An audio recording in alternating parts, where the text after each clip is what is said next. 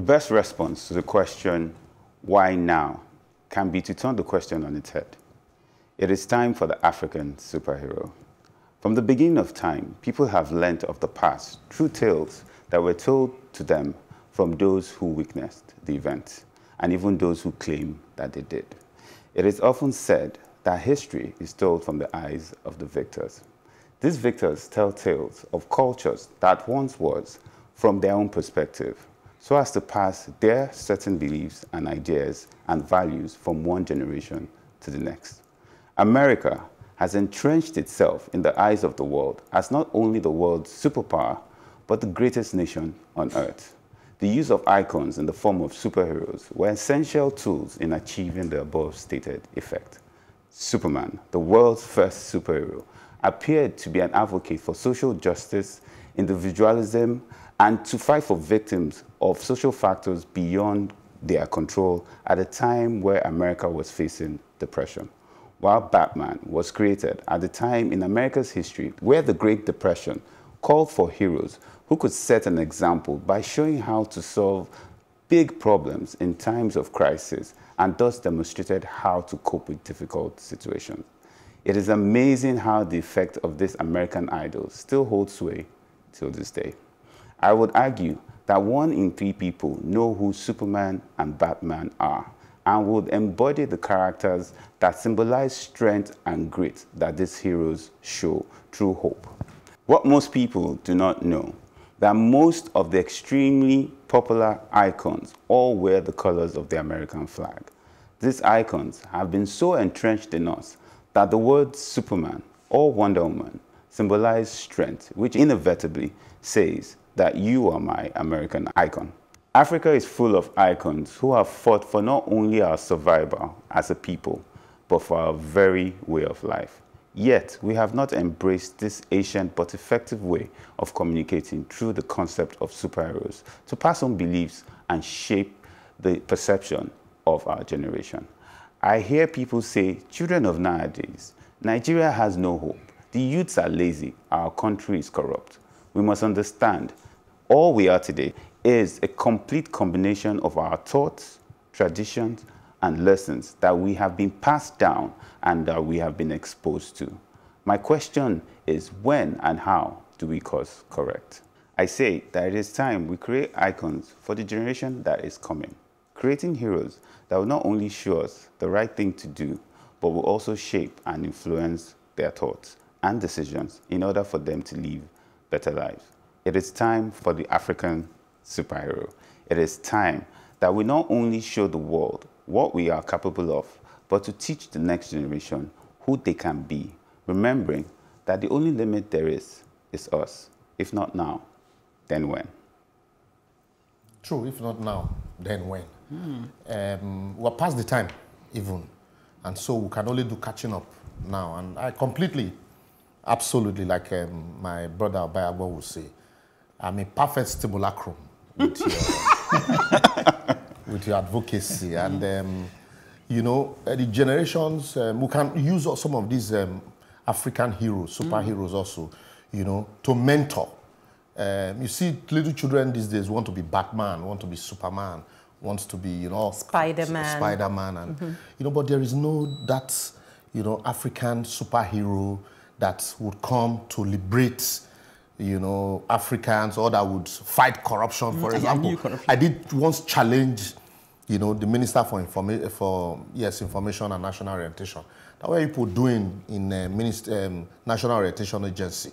You need to create characters. Do they exist? To be able to also fight Embody corruption. Take, for example, ideas. you know, people are, are stealing or Boko Haram, and then you have the superhero like Superman, mm. he comes mm. and he, you, you know, you need to create those kind of and then also it will encourage some persons to say, I want to go join the army, mm. so, you know, to be able to. But we just sit down and look for how to take money, make money. If you come up with that idea now, you'll be surprised. The, the line of, uh, of um, bureaucracy that you okay. will meet okay. oh, will be unimaginable. At the end of the day, somebody will just take your proposal, take it somewhere, they'll collect money and nothing. But you know, Liborous, let me quickly on. take mm. you on the National Orientation Agency one.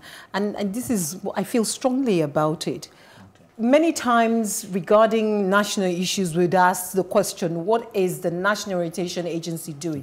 And the question I asked while you were talking was, do they still exist? They exist too. If There's they a budget exist, for them. can we have some innovative leader there? No. Because this is also part Hold of on, what they should about do.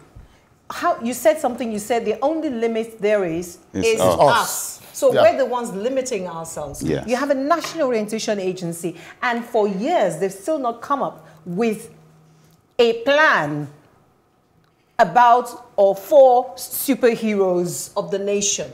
There is the Queen Amina of where, there is Zaria. the Queen Emotan of where, there is a Jaja of Opobo. Ah, We do need superheroes now more than ever because this is when people are losing hope.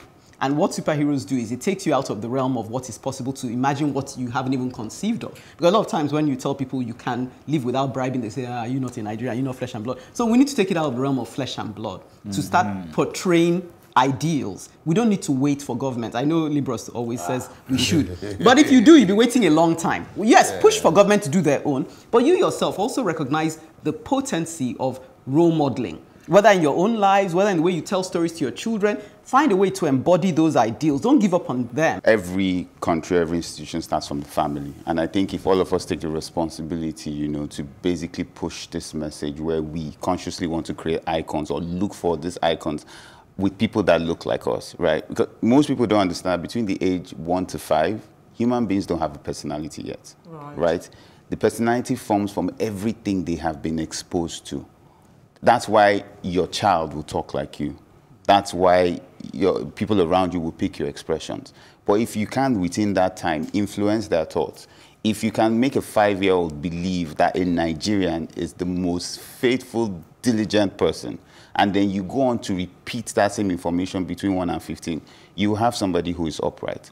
But when we have you know, households that keep talking about Nigeria is bad, the government is corrupt, we must do this, And even we must do that. your You know, I'm a Yoruba man, language. I'm an Igbo man. Mm. Instead of heroes that come out and say, I will fight no matter who you are, the color of your skin, simply because it is the right thing to do. That, that's where... The whole generation will change. Yeah, yes, I, yes. I, I think yes. So I think in the end, truly, I, I like. I, I can see now the superhero thing because a superhero is different from a hero. A superhero is is fictional, comic, you know, Yes. that sort of thing. Because I'm of the school of thought that we have no heroes in Nigeria, uh, real heroes. So the best Yeah, thing is, I now I like how you've come up now that the way we could move ahead is, and as Ekene said, we're moving from the normal to a so, so, so a sort of Another level. other level mm. where we can just drag people up there, and before they know it, they're being made to That- change. that's where I since, disagree with Since we can't change with the normal heroes that we have, because That's where I disagree with Ekene. you can only drag from your little environment. You talk about from five years and then you keep repeating. What do you hear your government say consistently? scale. Your president went abroad and say Nigerians are corrupt. They are thieves. And and so here you hear the government talk about religion, division, and all was not.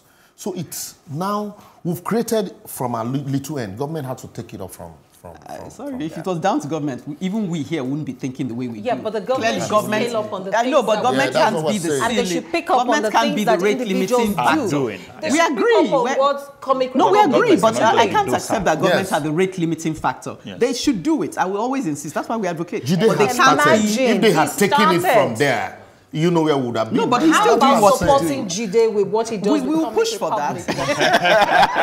Support me, please. By the But way, I was I, just I wanted to just make a slight comment about what you said, right? The thing about heroes, and I just need to throw that out, heroes are not perfect, hmm. and icons are not perfect. I do think we have heroes in Nigeria. Some people will not agree. They might have part of their lives because they're humans that are not exemplary.